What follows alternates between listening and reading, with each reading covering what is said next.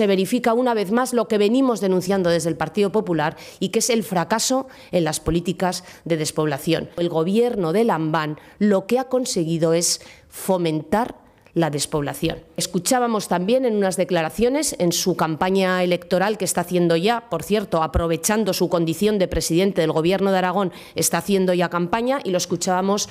en la provincia de Teruel, como una vez más recurría a un argumento ya viejo, casposo e incluso perjudicial, que era enfrentar al medio rural con el medio urbano, enfrentar a las ciudades con los pueblos, una vez más generando la fractura en la que tan cómodo se mueve el Partido Socialista, sobre todo cuando sabe que va a perder las elecciones. Le pedimos al señor Lambán que no fracture más la sociedad, que las ciudades pueden ser un elemento de eh, solidaridad muy importante para los pueblos, para los pueblos que dieron lo mejor de sí mismos y que lo siguen dando, que es su capital humano, y que desde luego abandone esa política de enfrentamiento y de fractura entre el medio urbano y el medio rural, entre las ciudades y nuestros pueblos. La gente del medio rural de nuestros pueblos no son tontos, señor Lambán, ni son victimistas, ni son unos acomplejados con baja autoestima. Y eso se lo volverán a decir